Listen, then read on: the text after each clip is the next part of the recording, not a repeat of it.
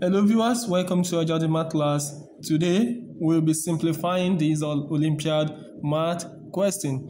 Now we're asked to simplify this root of 87253 square minus 87253 minus 87252. Now simplifying this, um, we can see that this number and this number are the same, but this is quite different, little bit.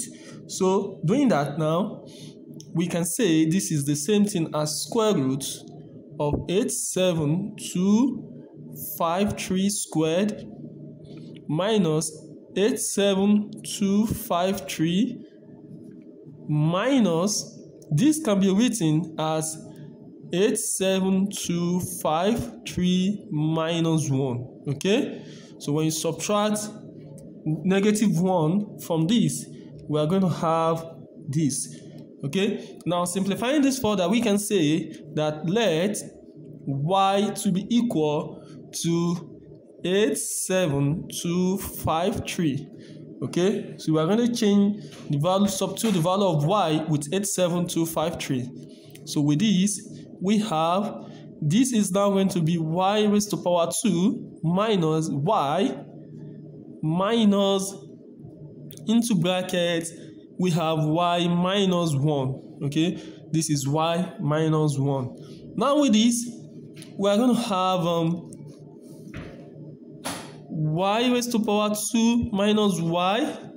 Expanding this bracket we are going to have minus y plus 1 okay? So with this we have y raised to power 2 negative y negative y is going to give you negative 2y plus 1. Now, don't forget that if you simplify y minus 1 all square is the same as this. We can just quickly confirm that.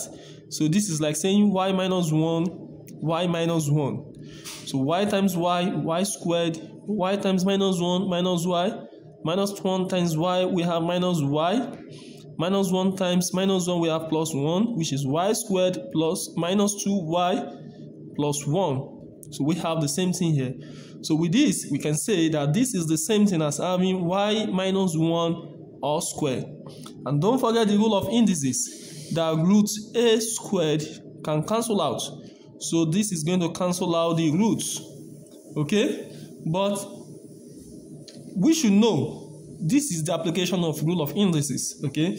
So with this, we have y minus 1. And um, don't forget the value of our y from this it's 87253. So with this, we are going to have 87253, which is the original value of y minus 1. So finally, we have 87252. This is our answer. So that shows that the root of this is the same as what? This. Thank you very much. Please don't forget to subscribe to my YouTube channel, comment on the topics you want us to treat, and also like this video. Thank you very much. See you next video.